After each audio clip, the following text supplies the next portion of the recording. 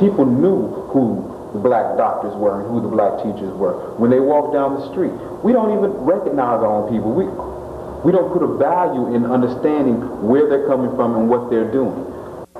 I mean, we've had entire revolutions within every field, within science, within history, within art, within music, we've made such dynamic contributions and, and, we're not submerged within our own culture. We're not submerged within the knowledge of what we have done and are still doing because those things haven't changed. We still exist. We're still smiling. We're still here.